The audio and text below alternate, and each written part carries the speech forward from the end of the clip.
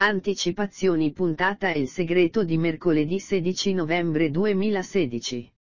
I Castaneda conoscono Malisa, ma Candela intanto soffre nel constatare che Severo ha subito trovato una sostituzione per lei. Carmelo però ha capito che si tratta di un trucco di Severo per far ingelosire Candela. Emilia sta pensando di separarsi da Alfonso, nel frattempo Francisca rientra alla villa e riceve una misteriosa lettera dal tribunale.